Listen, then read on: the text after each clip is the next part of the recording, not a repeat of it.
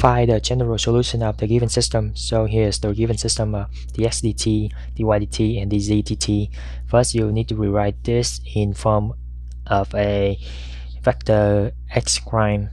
So basically, you just take the leading coefficient of x, y, z and put it out into a matrix, then multiply it with vector x. Then find a minus lambda i. What is a? A is, let's call this matrix is matrix A then minus that with lambda i that gives you this matrix. Then you find the determinant of it. That gives you 2 minus lambda. I'm gonna go across the row. 2 minus lambda times 10 minus lambda times 2 minus lambda minus 4 times 5 which is negative 20 minus negative 7 times cover this column and this row. 5 times 2 minus lambda minus 4 times 0 which is 0 and then plus 0 okay? Simplify this. So you will get this and then simplify it all the way down here. You will get this. Set it equal to 0 and then solve for lambda. You will get lambda equals 275 so here are here is on the eigenvalue for 3 by 3 matrix. So if you notice you have 3 by 3 matrix so you will have 3 values for lambda.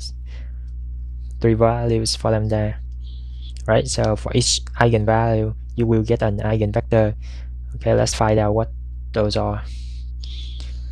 For lambda equal to plug it into here. That gives you this matrix augmented with zero. Okay normally you would reduce this down to a base matrix but because I know that I will get infinite solutions so instead of going over all of those matrices I'm gonna uh, go back to solving a system of linear equation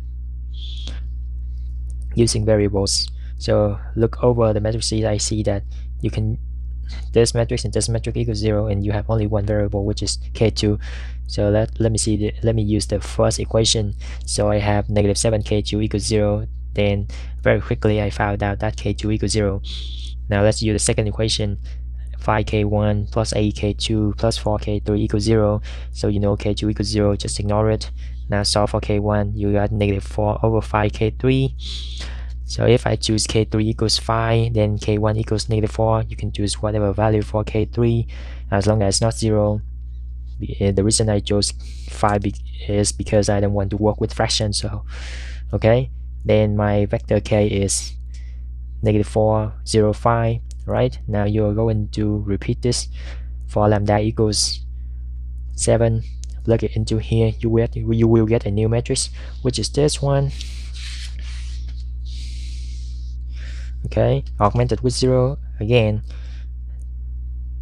uh, I want to reduce this down to a matrix to a base matrix because I know that it will give me infinite solution. So at this point I'm going to use the first equation.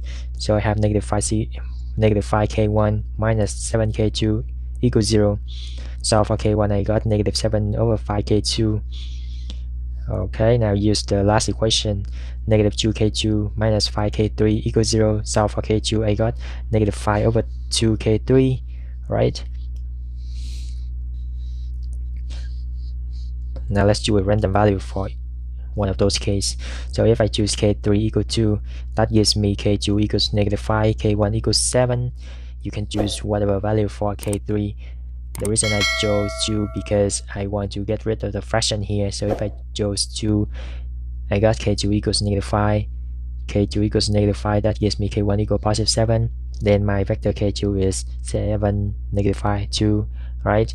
Now you're going to repeat this process one more time for lambda equals 5 plug it into this matrix. That gives you a new matrix which is this augmented with 0 alright now look for the matrices you're going to use. Uh, look for the equation you, you are going to use. So it's kind of similar to this one right? First use the first equation. Negative 3k1 minus 7k2 equals 0 solve for k1 I got negative 7 over 3k2 use the last equation. 5k2 minus 3k3 equals 0 solve for k3 I got 5 over 3k2 right? Now choose k2 equals 3 that gives me k1 equals negative 7 k1